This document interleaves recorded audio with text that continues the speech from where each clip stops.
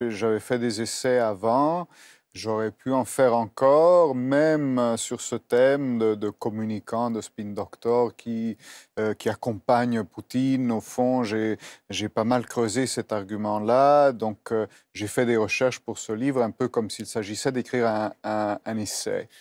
Et puis, euh, j'ai voulu aller plus loin. Et, et, et, paradoxalement, je ne crois pas l'avoir fait pour m'éloigner de la réalité, mais plutôt pour m'en rapprocher. Ah, ça, c'est passionnant. Euh, et, et, la seule façon de se rapprocher d'une réalité de ce type, d'essayer d'entrer dans la tête des personnages, d'utiliser pour l'écrire non seulement ce que je savais de ces personnages, mais ce que j'ai pu éprouver, en effet, aussi au cours d'un parcours précédent, et donc pas qu'une partie de mon cerveau, mais, mais, mais, mais mon expérience entière, en effet, c'était de, de basculer dans le roman. Alors comment on bascule dans le roman? Mais d'abord par un nom.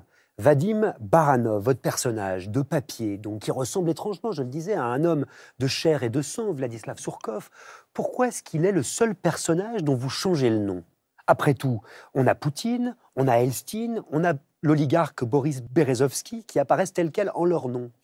Oui, parce que ce personnage est inspiré d'un personnage réel, vous l'avez dit, euh, Vladislav Surkov, qui est lui-même euh, très romanesque, parce que dans, dans l'entourage assez gris du, de Poutine, qui est fait d'anciens du KGB ou d'hommes ou d'affaires, c'est quelqu'un qui, qui, est passé par le théâtre d'avant-garde, par la télévision, par la télé-réalité, qui, qui écrit des, des, romans sous pseudonyme.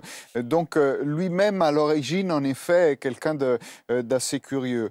Mais après, comme je vous le disais, euh, si j'avais gardé son nom, et c'est ce que j'ai fait pour, pour d'autres personnages, j'aurais dû m'en tenir à ce que je savais sur lui.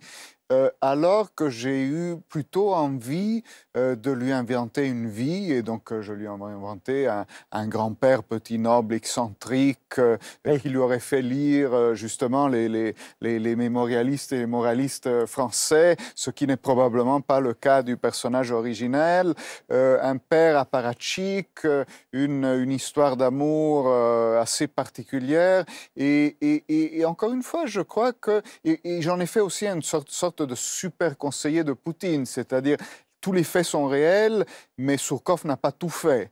Donc mon Baranov, euh, il pouvait ratisser quand même plus large. Mais ce qui est passionnant quand même, je ne sais pas ce que vous en avez toutes et tous pensé, c'est que c'est avant tout un homme de théâtre, vous l'avez dit, et de spectacle. Au fond, pour lui, quel théâtre est-ce que c'est la réalité? Oui, c'est quelqu'un qui va véritablement euh, con concevoir son rôle de conseiller politique euh, comme une, une performance de théâtre d'avant-garde. Ça veut dire qu'il crée la réalité. C'est-à-dire qu'il ne se limite pas que à commenter ou à exploiter la réalité, mais qu'il crée sa propre réalité. Comme on crée des fictions. Exactement, comme on crée des fictions et avec la même exigence. C'est-à-dire que la véritable exigence n'est pas de s'approcher ou de s'éloigner de la réalité, mais d'avoir une cohérence narrative qui est ce qui est fondamental quand on crée des, des, fictions politiques aussi. Et en quoi ça va permettre d'asseoir justement l'aura et la puissance de Vladimir Poutine? Bah, euh, le vrai Surkov, euh, du coup, euh, est quelqu'un qui théorise euh, la démocratie souveraine. Et les Russes qui ont toujours un certain humour disent que le rapport entre la démocratie et la démocratie souveraine, c'est celui euh, qu'il y a entre une chaise et une chaise électrique.